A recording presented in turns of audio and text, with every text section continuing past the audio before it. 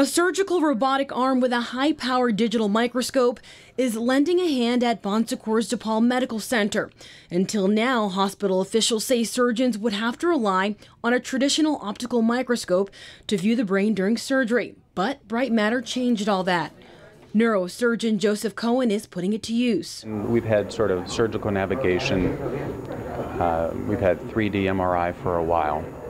Um, but this synaptive technology allows me to see the fibers around the tumor, and that's something we could never see before. In real time, robotic imaging technology provides twice the resolution of a traditional microscope. The robotic arm follows the instruments the surgeon is using through motion sensors and a foot pedal. DePaul is the second hospital in the state to have BrightMatter and the only hospital in Hampton Roads. So it allows the surgery to be much more safe and much more efficient, and we can we can develop a, a surgical plan that, that is really much more detailed than we ever could before. In Norfolk, Elise Brown, 13 News Now.